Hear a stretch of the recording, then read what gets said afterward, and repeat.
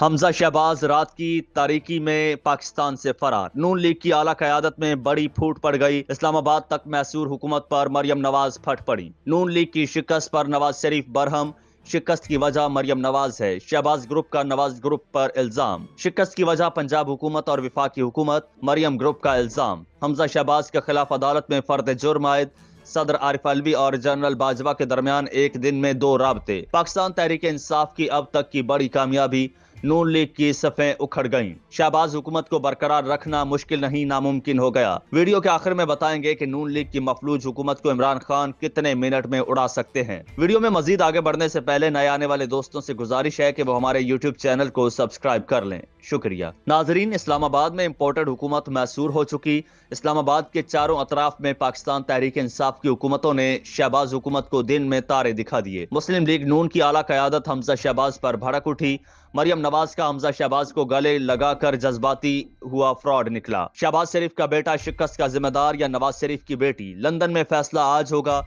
नून league दोनों group अपना अपना दिफा करने को तैयार। हमजा शहबाज के खिलाफ चार्जशीट तैयार। नून लीग हमजा शहबाज को शोकॉज नोटिस जारी कर सकती है। करीबी जराये का दावा। जनरल बाजवा और सदर पाकिस्तान की फ़ोन कॉल की असल हकीकत क्या है? हमजा शहबाज और वज़ीर आज़म शहबाज शरीफ पर फर्द जुर्म आयद करने का अदालती फैसला, नून लीग की क्यादत बड़ी मुश्किल में फंस गई। नाजरीन, वैसे तो पंजाब में जिमनी इंतबात सूबाई असम्बली के चंद गिने चुने हल्कों में हुए थे और बाहिर तो इन जिमनी इंतबात का विफाकी हुकूमत से कोई ताल्लुक नहीं है, लेकिन बाज मुबसर और सियासी रहनुमा इस बात पर इसरार करते दिखाई देते हैं कि पंजाब के जिमनी इंतबात में मुस्लिम लीग नून को शिकस्त के बाद विफाकी हुकूमत कायम रखने का सियासी और अखलाकी जवाब नहीं रहता। लेकिन हर कोई जानता है कि नून लीग और अखलाकी जवाब का आपस में कोई लेना देना नहीं।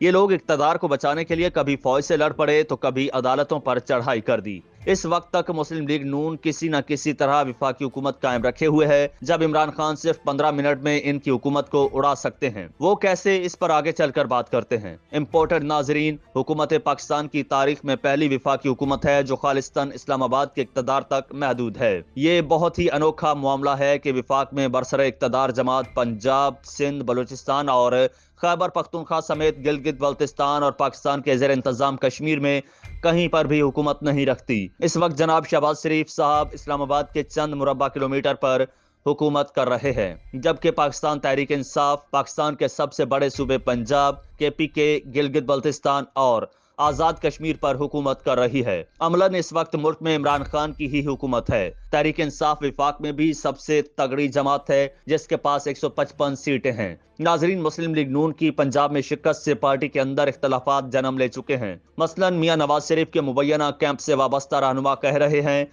कि शहबाज शरीफ का बयानिया गलत साबित हुआ है। शहबाज शरीफ को इमरान खान के खिलाफ तहरीक अदम अतमाद की कामयाबी के बाद हुकूमत साजी की जानब नहीं जाना चाहिए था, बल्कि इलेक्शन की तरफ़ जाना चाहिए था। जबकि शहबाज शरीफ के कैंप की जानब से ये कहा जा रहा है, नाजरीन, चूँकि मरियम नवाज़ इंतबी मुहिम चला रही थी तो ये मरियम नवाज़ की नाकामी है। यूँ पार्टी के अंदर दूरियाँ पैदा हो गई हैं, यही वजह है कि मुस्लिम लीग नून में टूट फूट होने जा रही है। माजी में नवाज़ शरीफ, हमजा शहबाज को शोकॉज नोटिस देने का इरादा रखते थे, लेकिन अब शायद परफेक्ट वक्त है। नून लीग अपनी सफों को दुरुस्त करने के बजाय दूसरे रास्ते पर निकल चुकी है, जो कि बहुत खतरनाक है। पार्टी के अंदर इख्तलाफात की बुनियाद पर टूट फूट से पार्टी मजीद कमज़ोर हो रही है। इमरान खान के खिलाफ तहरीकी अदम अतमाद की कामयाबी के बाद पीएमएलएन ने हुकूमत साजी की तो मरियम नवाज़ ने उसी जमाने कह दिया था कि ये फैसला ठीक नहीं।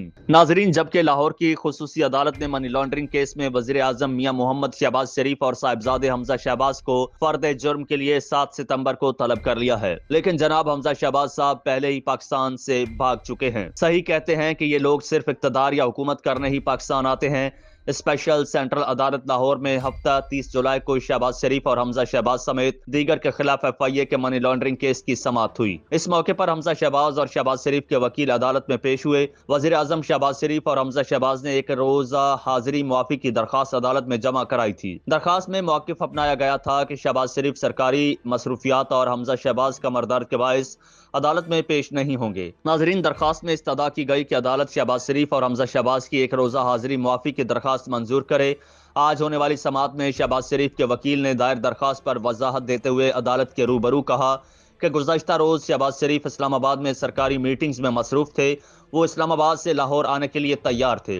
रात मौसम की खराबी पर उन्हें सफ़र से मना किया गया। नाजरीन, इस मौके पर विफाकी तहकीकाती इदारे के प्रोसिक्यूटर ने कहा कि शहबाज शरीफ और हमजा शहबाज की हाजिरी माफ़ी पर कोई एतराज़ नहीं है।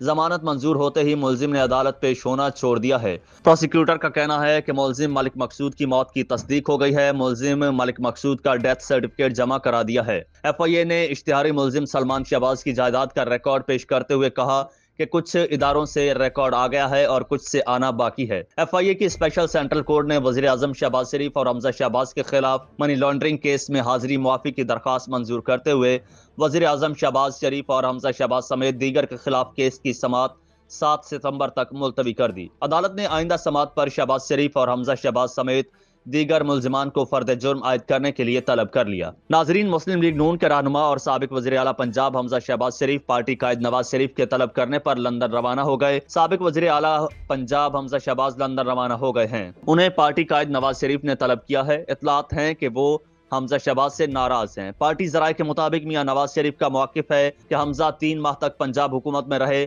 और सूबे में कोई मौसर काम न करा सके। साथ ही पंजाब में जिमनी इलेक्शन हारने की वजूहत पर भी नवाज़ शरीफ, हमजा शहबाज से नाराज़ हैं। हमजा शहबाज आज सुबह निजी एयरलाइन की परवाज के ज़रिए लंदन रवाना हुए वो अपनी वालिदा से भी लंदन में मुलाकात करेंगे। उनका एक हफ़्ते बाद वतन वापस आने का इम्कान है। एक हफ़्ता कबल सुप्रीम कोर्ट के फैसले के बाद हमजा शहबाज को वजारत आला का छोड़ना पड़ा था और उनकी जगह परवेज इलाही पंजाब के वज़ीर अला मुंतखब हुए थे। नाजरीन, इस मौके पर विफाकी तहकीकती इदारे के प्रोसिक्यूटर ने कहा कि शहबाज शरीफ और हमजा शहबाज की हाजिरी माफ़ी पर कोई एतराज़ नहीं है। जमानत मंजूर होते ही मुलजिम ने अदालत पेश होना छोड़ दिया है। प्रोसिक्यूटर का कहना है कि मुलजिम मलिक मकसूद की मौत की तस्दीक हो गई है। मुलजिम मलिक मकसूद का डेथ सर्टिफिकेट जमा करा दिया है। एफ़ आई ए ने इश्तिहारी मुलजिम सलमान शहबाज की जायदाद का रिकॉर्ड पेश करते हुए कहा कि कुछ इदारों से रिकॉर्ड आ गया है और कुछ से आना बाकी है। एफ़ आई ए की स्पेशल सेंट्रल कोर्ट ने वजी अजम शहबाज शरीफ और हमजा शहबाज के खिलाफ मनी लॉन्ड्रिंग केस में हाजिरी मुआफी की दरखास्त मंजूर करते हुए वजी अजम शहबाज शरीफ और हमजा शहबाज समेत दीगर के खिलाफ केस की समात सात सितंबर तक मुलतवी कर दी। अदालत ने आइंदा समात पर शहबाज शरीफ और हमजा शहबाज समेत दीगर मुलजमान को फर्द जुर्म आयद करने के लिए तलब कर लिया। नाजरीन, मुस्लिम लीग नून के रहनुमा और सबक वजी अला पंजाब हमजा शहबाज शरीफ, पार्टी कायद नवाज़ शरीफ के तलब करने पर लंदन रवाना हो गए। सबक वजी अला पंजाब हमजा शहबाज लंदन रवाना हो गए हैं। उन्हें पार्टी कायद नवाज़ शरीफ ने तलब किया है। इतलात है की वो हमजा शहबाज से नाराज़ हैं। पार्टी जराये के मुताबिक मियाँ नवाज़ शरीफ का मौकफ है कि हमजा तीन माह तक पंजाब हुकूमत में रहे और सूबे में कोई मौसर काम न करा सके। साथ ही पंजाब में जिमनी इलेक्शन हारने की वजूहत पर भी नवाज़ शरीफ, हमजा शहबाज से नाराज़ हैं। हमजा शहबाज आज सुबह निजी एयरलाइन की परवाज के ज़रिए लंदन रवाना हुए। वो अपनी वालिदा से भी लंदन में मुलाकात करेंगे। उनका एक हफ़्ते बाद वतन वापस आने का इम्कान है। एक हफ़्ता कबल सुप्रीम कोर्ट के फैसले के बाद हमजा शहबाज को वजारत आला का छोड़ना पड़ा था और उनकी जगह परवेज इलाही पंजाब के वज़ीर अला मुंतखब हुए थे।